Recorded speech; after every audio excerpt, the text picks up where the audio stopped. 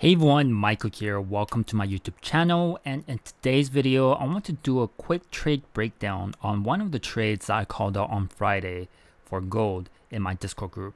And hopefully going through this trade breakdown, it will help you with your entries and trading plan as well, trading in the New York session.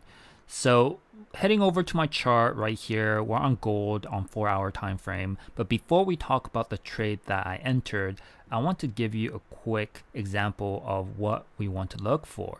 So just a simple model where we see that there's accumulation going on and then manipulation and distribution.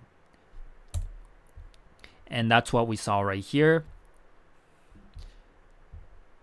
Accumulation over here, manipulation, distribution. And basically the sell side liquidity was taken before hitting up to the buy side liquidity and then it reversed. As you can see, right here is our sell side liquidity and then our buy side liquidity over here. And at the same time, we can also mark out our kill zone session 7 a.m.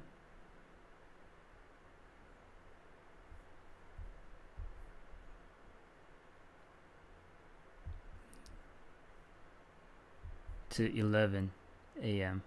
right here.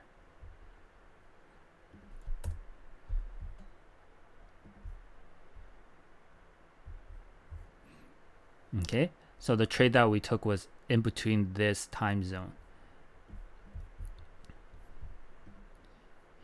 Now on the four hour time zone, we can see that there is a supply order block over here. So we can mark that out.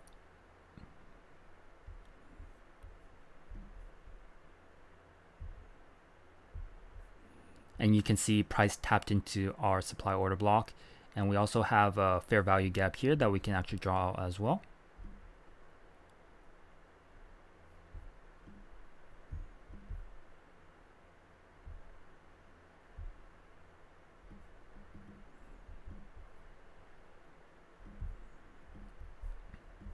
Once price tapped into our supply order block, we can head down to our lower time frame to get more idea on what's going on. As you can see, once it tapped into our supply order block, we had this rejection. And once we have this rejection, we can look for possible entries.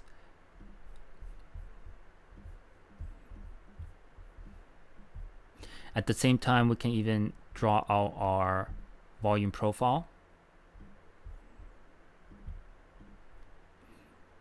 It's right here. So when the price goes down and come back, we can basically get in in this area. But we want to see how the price rejects and comes back. So heading down to our five minute,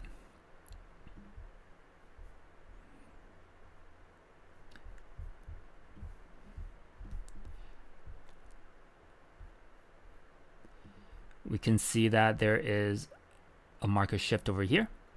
And during the first market shift, of course, if you enter here, it's very risky. So what we want to do is look for a market shift and then wait for the price to come into our premium level to take our position.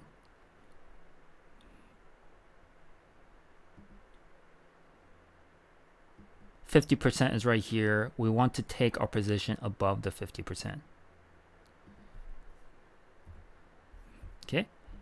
And there's multiple confluence here as well. If you drew out this fib over here on the down leg, you can see price tapped into our golden zone and also above our 50% and also our volume profile. So there's a lot of confluence telling you the price is going down.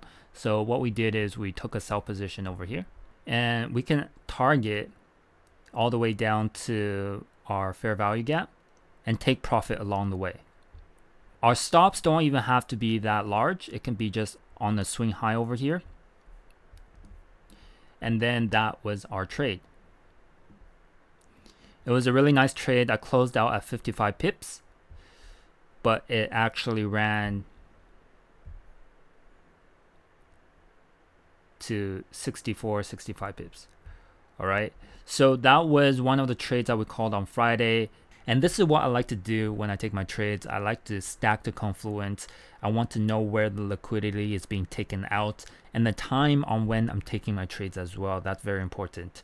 So hopefully this video gives you an idea on how you can break down your trades and take your entry as well. And you shouldn't force anything and don't be impulsive in taking your entry. Always wait for the right confirmation before getting in. So even if you missed the first entry, there's multiple chances for you to get in. Price came back here, you can get in here. Price came back here, you can get in here as well. So once you see confirmation on higher time frame, you want to head down to the lower time frame to look for possible entries. And when you have all the confluence in place, the trade will give you a higher probability for a winning trade. So hopefully this video was insightful and you learned something. And if you enjoyed the content, give me a like and comment and subscribe for future notifications as well when I drop new videos. With that, I'll see you on the next one. Take care.